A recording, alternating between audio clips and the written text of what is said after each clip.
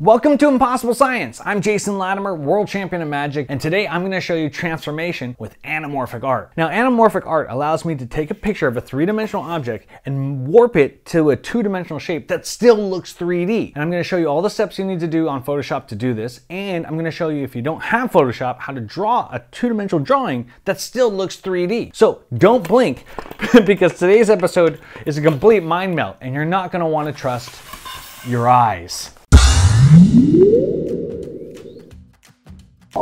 So how do these impossible anamorphic images work? I mean, how do we go from 3D shapes to a 2D shape that looks 3D? Yeah, if you haven't figured it out already, we're tricking our mind. See, our brains are constantly trying to decipher what we're looking at. It's using shapes and shadows and size to determine what could this object be. Now, since it's constantly guessing, if we know what it's looking for, then we can trick it. That's right. We can actually trick our own minds. Here, take a look at this image. What do you see here? A white triangle? Wrong. It's not a white triangle at all. You're seeing circles with wedges cut out of it and some lines that have been added, but your brain is associating this pattern as if there's a white triangle laying over these images. Pretty weird, right? Your brain is using its past experiences to predict or determine what it's looking at. Like when I place my hands like this, one hand looks smaller, but the other hand looks larger. Your brain is using the size comparison to determine depth. And as long as we remember that these are the rules that your brain are looking for, then we can use these rules and manipulate them to make an image appear 3D. This globe is working because you can see that the equator would be closer to you versus the poles. If we account for that distortion as it gets smaller and farther away, then you can turn this globe into a flat image. Pretty crazy. Now take a close look at this. What I've done here is I've printed out an anamorphic image and if you look closely at this side, this side is smaller than this side. Because when I rotate it, this is getting closer to the camera. So the distortion of getting larger in the back makes sense because it's accommodating for the fact that as it gets farther away, it's gonna shrink down.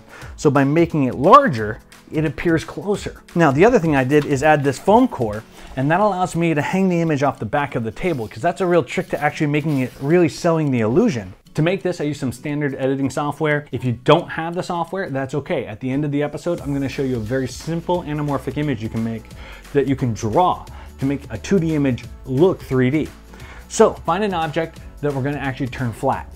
And it helps if you have a tripod because we're gonna want to keep the camera exactly in the same spot as we do these steps. So you're gonna take a picture on a tripod and leave the camera still, and then we're gonna take the picture and we're gonna warp it to make an anamorphic image.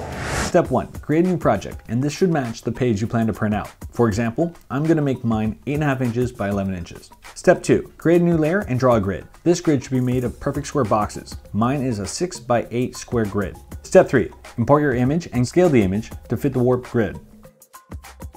Step 4. And convert it into a smart object. This will allow you to warp the images without compromising quality. Step 5. Duplicate that grid layer and recolor the grid lines. Step 6. Now warp and duplicate the grid using the Distort and Perspective tool. It should look as if the grid is going into the distance. Like railroad tracks, make sure the two grids line up at the bottom of the page. Step 7. Select a warp grid in your image. Use the Distort and Perspective tool to unwarp the grid so that it lines up with the original grid. Step 8. Turn off the grid layers and your anamorphic image is ready to be printed. All right, now that you've warped your image, all you have to do is print it up. Now you can get these printed up at your local print shop. Um, now just keep in mind, the larger the print, the more expensive it's gonna be. Something like this size is about $20. Then all you have to do is cut it out. I usually try to look for a, a strategic place to cut it out, like the outline of the object. There's a gap between the globe and the metal bar here that I'm not really gonna worry about because it should match up with the background anyway. But if you look at the beginning of this episode, when I had an anamorphic image of the entire table, you can tell that I actually used the metal as the outline of my image. That made me camouflage between picture and real. And so when you're getting to a, a single object, you really want those definite lines between like this blue and the background or this gold and the foreground and the surface. That's gonna help you out a lot if you can actually just follow the edge of the actual object. And once you're done cutting it out, it's gonna look something like this. Now it'll be kind of flimsy because it's just paper. That's why I suggest putting the foam core on it. But I wanted to point out something. The reason why I put on half of the paper, because when I tilt it like this and it's on foam core, you'll be able to see the foam core on the bottom from that angle. So what I do to get away from that is I actually put it only on half of the image. That way it tapers down smooth to the table, which is what we want. And I also just put a little support back here to make sure that it looks like it's holding itself up. And to line it up, luckily for me, I've got this little bit of the background coming through the picture, you can see between the middle bar and there, I can actually just use that as my guide to line it up. And so it's somewhere right around here. Now let's say you don't have photo editing software. Well, I got you. I'm gonna show you how to draw an anamorphic image. Now I scoured the internet and found a super simple way to do it. And you're just gonna need a few items. You're gonna need some paper, a pencil, a regular marker, I'm gonna use a Sharpie here, a regular marker, a fine tip marker, and I'm gonna be using straight edge. Actually, I'm using a triangle for this one. To do this, I'm gonna draw a four inch by four inch square. Now I'm using this triangle because that will give me my right angles. And if I do this right, we're gonna end up having a drawing that looks like there's a hole in the table. So you have a square. Now just connect the diagonal and then we're gonna be making a couple of L's. I'm also drawing this upside down compared to what you guys need to be doing on your side, so hopefully it'll look better for you than it does for me upside down, it's kind of confusing.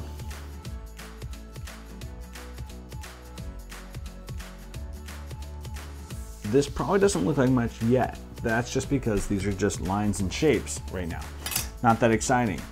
But as we start to add in the shading and give it perspective, or give it this perspective, it's gonna look more and more three-dimensional. So this next layer is, we're gonna use the fine tip marker.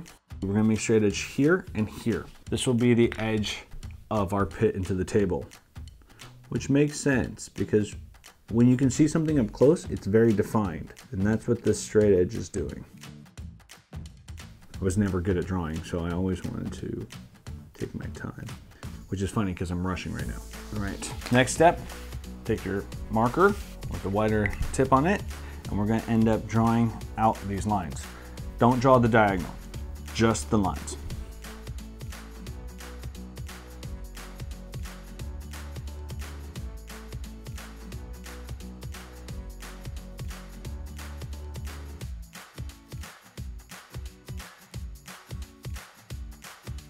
Now try not to break that line up there, even though I did a little bit there.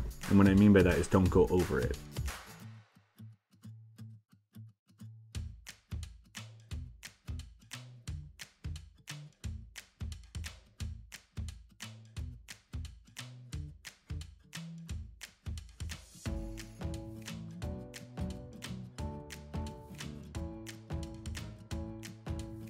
Okay, now the next step is we're gonna fill these in. I'm gonna start off with this square over here and you'll see why I made that square because that's gonna be the pit. That's gonna be where, where it kind of gets hard to see what's going on as far as perspective wise right now, but we're just gonna fill in this spot. Again, you wanna stay within the lines, so take your time on the edges here.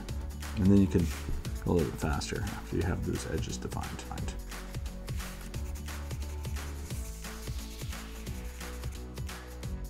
And then we're gonna alternate, and we're gonna make a black stripe up here. Now I'm doing the edge first so that I can go a little bit faster after that, but highly recommend doing the edges first.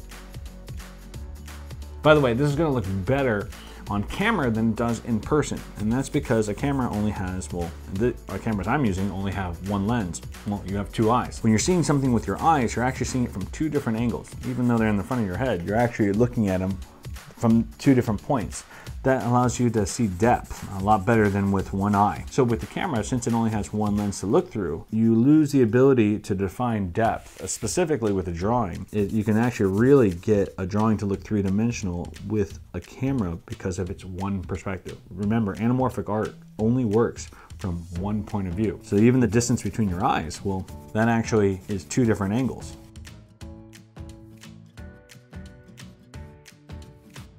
All right, so there you're there. Now, just grab a pencil and we're gonna shade in only this side. Now, the side closest to the square at the bottom, we're gonna make that darker. So I'm gonna get this one going here. Use our finger to smudge it around.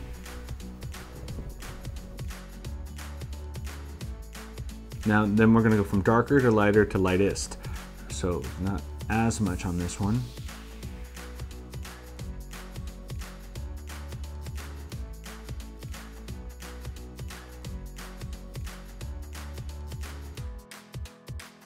And there you have it, a pit in the table. Now, I know there's it may not be perfect yet. There's probably one angle that's much better than the others for these cameras. So it probably doesn't look very good from that camera because you're looking at it from the wrong point of view. You're actually seeing this wall, which you shouldn't be able to see from that angle. So it's probably gonna be best to be from this angle to look down where you have this edge of the pit. So let me just adjust the cameras and let's uh, see how real we can make this thing look. So let me see what we can do here get the right angle for this, this will look 3D. It looks a lot better from this angle than any other angle because from this perspective, you're able to see this wall and this wall, which makes sense. Versus this angle, well, you really shouldn't see this wall. So the illusion doesn't work that well from this angle. And from dead on, it might work a little bit, but really you should be able to see a third wall as well. This front edge where the, the fine line is, that's supposed to be the edge of the table. But if you find the right angle, you can actually make it look like it's 3D. Well, if you enjoy my goofy experiments, let me know. Like the video, share the video with your friends. And if you enjoy just making the impossible topics possible, like turning a three-dimensional object 2D or two-dimensional object, well then make sure you subscribe to the channel. And until next time, stay curious. Because the right question changes everything. Let's get started.